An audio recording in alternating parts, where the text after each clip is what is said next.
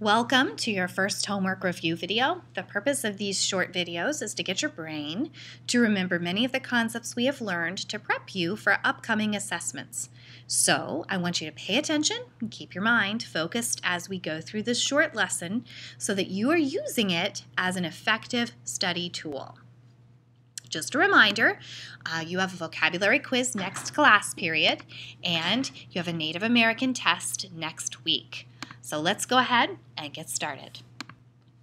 Number your paper 1 through 20 if you have not done so already. Write the answer down before I give the answer and correct your answer if you get it wrong the first time. Pause the video if you need a few more seconds than I allow between reading and explaining the question and providing the answers. So number one, let's get started. What is the vocabulary term that the picture is referring to? Notice the arrow is pointing to the man who is spearfishing, and this would be a Kwakiutl man catching his dinner. This would be a human resource because the human is doing the needed or necessary job. People are human resources. Number two, what tribe lived in the region marked with the number 3 on the map? I hope you said Kwakiutl, and you would be right. Know that the Kwakiutl probably reached further down into Washington and Oregon and parts of California, as well as that part of Canada. The region to remember for the Kwakiutl is the coastal range. And remember, the Kwakiutl Indians did live in wooden shelters because the climate there is rainy, and they are the ones to remember who had the totem poles. Number three, what is the vocabulary word that is a place inhabited or lived in by people, an established community called? A settlement. And notice the settlement there um, on the Great Plains would be a temporary settlement because the Lakota Sioux followed their game, primarily the buffalo. Here is a settlement, but it's a more permanent settlement of the Kwakiutl because they're not moving anytime soon. You can tell by their structures and their living environment that, that this settlement is permanent. Number four, blank is the study of the cultures of the past by finding and examining artifacts. Hope you said archaeology. Hard word to spell, so take your time writing that one down. The horse skeleton found at Jamestown during the archaeology dig in one of the first layers under the soil is what you see in that picture. This shows that 200 years after Jamestown, Confederate soldiers camped on the island during the Civil War and one of their horses died there you can see underneath the feet of the archaeologist that they've dug only about one to two feet down below the surface in order to find this skeleton. They would have to dig about two to four feet down in order to locate the Jamestown artifacts that would be from the 1600s. What is the vocabulary term for number five that means to distribute or spread over a wide area? The term is disperse. And you can see this red line representing the dispersing of many different Native American peoples. If we're following the land bridge theory, um, you can notice the red line going through the Bering Strait, and then it tapers off and it disperses into multiple directions depending on where that people group went, traveled, and finally settled. Native Americans dispersed all over North and South Africa. Number six, what tribe lived in the region marked with the number two on the map? Did you say the Inuit? If so, you are correct. The Inuit people lived in the Arctic region, up at the Arctic Circle. Very cold in that region, as you can see. The Inuit are the ones who lived in igloos. Number seven, why can we not just read a book to learn about ancient cultures and civilizations? Well, the reason is because some did not have a written language. Many ancient cultures and civilizations wrote in pictures, and some did not write at all. You can see the stone pictures that are painted on this stone cave wall don't have letters or words that go along with them. In fact, these pictures most likely had symbols. As historians, we have to take the artifacts and we have to take certain images that are there and interpret what they mean. Sometimes we don't know exactly what they me meant, but we can look at multiple copies and make an educated guess. Number eight, what is something that tells about an event and is from the time of the event? A primary source. This photograph of these totem poles is a primary source because this is an actual photo of the real totem poles built by the Kwakiutl Indians. Most photographs are primary sources because they are actually capturing the event or capturing the image from that time of the actual thing. A arrowhead would also be a primary source from Native American cultures. It's the actual piece that would have been used by the Indians at that time.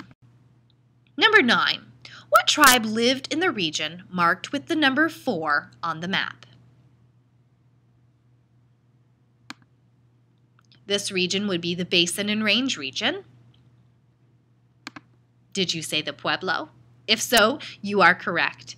Remember that this term has multiple meanings. In the question number nine, we were using Pueblo to reference a certain tribe or people group. But remember, they also, um, we can also use Pueblo as multi-storied adobe houses made out of clay.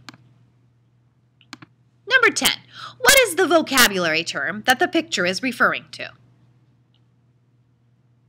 And what I mean is, is it a capital resource? Is it a natural resource? Or is it a human resource? I hope you said capital resource. The canoe is a capital resource because it is a good used to catch food, to catch fish, and to transport the natives from place to place. Number 11. The different tribes that emerged across the Americas developed different cultures based on which of those? D, all of them. The physical geography of the land, the climate, and the available natural resources would all be reasons why the different tribes had different cultures. Think about it. The reason the Inuit live in igloos is because there's a lot of snow in that cl climate. There is a lot of uh, snow and ice in that region, and they needed to use they had to create a home. Think about the Kwakiutl homes. They're made out of wood because there's lots of forests there. And the reason they are so closed in with roofs and a door is because it was raining very often in that region. Think about the teepees made by the Lakota Sioux Indians. These are made of buffalo skins because there were lots of buffalo. Those that was an available natural resource. And they needed to pick it up and move because they were following the available natural resource in order to eat and survive. The adobe houses were made out of clay because that's what the Pueblo people had to make their houses with. And finally, the longhouse is made out of trees and bark and is, is made this way because that is what the Iroquois had. Sorry about that interruption. Moving on, number 12.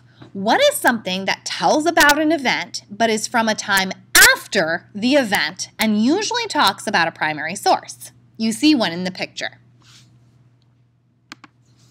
Hopefully you said secondary source. That is an ancient Egyptian textbook. It may have a primary source or a photograph of a primary source inside of it, but the actual textbook itself, that's a secondary source.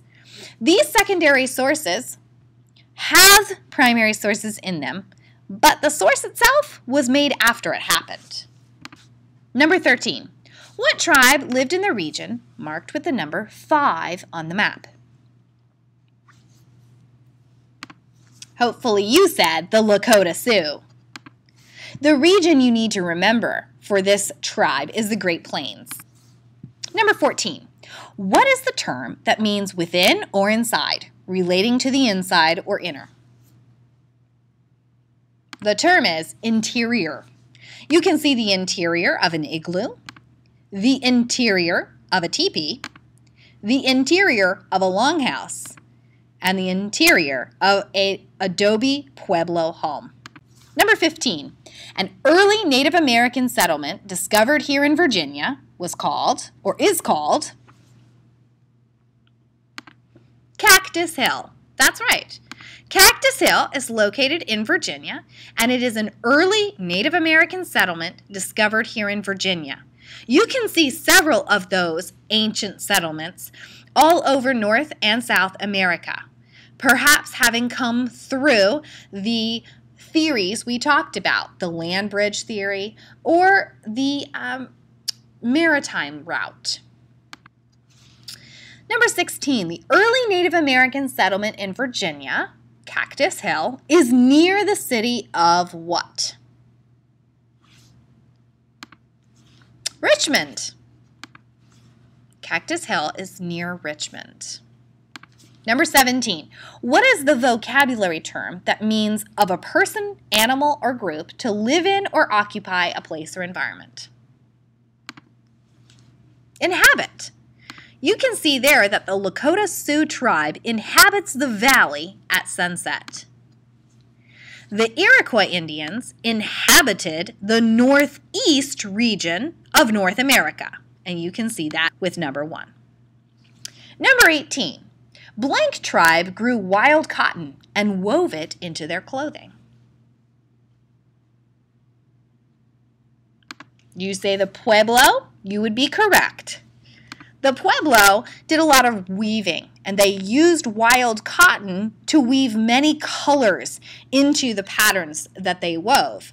They would use dyes in order to create a certain color, and they used very brilliant colors in their weaving. Number 19. What are materials that are found in nature, such as minerals, forests, water, and form formable land, called? Natural resources. You can see the buffalo was a natural resource for the Lakota Sioux Indians. You can also see the bark that's creating the Iroquois longhouse is a natural resource found from the bark of trees. But notice the next longhouse. It's a little bit different. It's made out of mats that were woven together from river reeds because this tribe did not live necessarily in a forest. They lived along a river riverbank and the natural resources they had were river reeds. A deer is another common natural resource that many of the eastern woodland Indians, including the Iroquois, used for all types of resources. And finally, the clay in the Pueblo dwelling is definitely a natural resource that, that the Pueblo had to use. Number 20. What did the Inuit Indians use for lighting? Whale oil. Here are some Inuit Indians actually harvesting the oil from the large whale that they have speared. And you can see that this oil would actually produce a type of fuel in order to light the igloo houses. Hopefully this interactive video enabled you to think and study for your upcoming quiz and test. Goodbye!